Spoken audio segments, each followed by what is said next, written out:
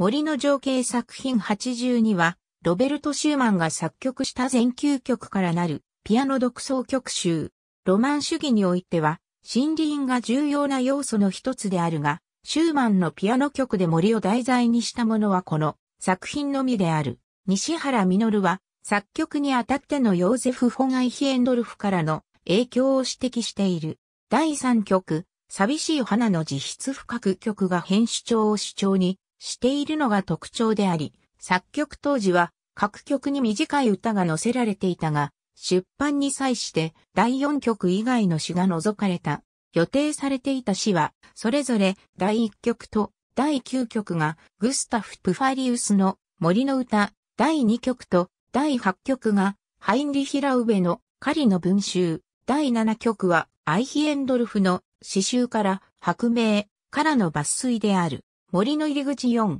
4拍子、変路長調、急速でなくと指示された三部形式の曲。静かにゆったりと森に足を踏み入れる気分が巧妙に描かれている。待ち伏せる狩人4、4拍子、二単調。最高に生き生きとと指示された女装と二部形式からなる曲。寂しい花に4拍子、変路長調。単純にと指示された曲。タイトルのブルーメンは複数形であることから対話風の処方を織り込んだ優雅な趣を持っている。冒頭の中心動機は他の曲でも用いられ、曲集の核となる君の悪い場所を4、4拍子、2単調。かなりゆっくりとと指示されたこの曲の冒頭部分にはドイツの詩人フリードリヒ・ヘッペルの詩が掲げられており、曲は晩年のシューマンの怪異さと暗さを示す典型的なものと言える。懐かしい風景に4拍子、変路長調、